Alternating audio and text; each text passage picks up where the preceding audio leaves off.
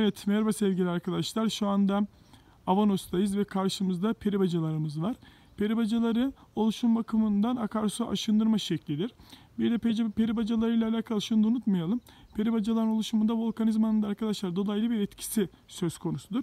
Çünkü buradaki tüfü ve peribacaların şapkasını oluşturan bu kayaçları veren tamamen volkanizmadır. O yüzden dolaylı bir etkiye sahiptir.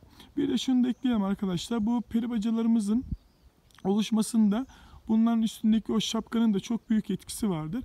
Eğer şapka düşerse zaman içerisinde peribacamız yok olup gidecektir.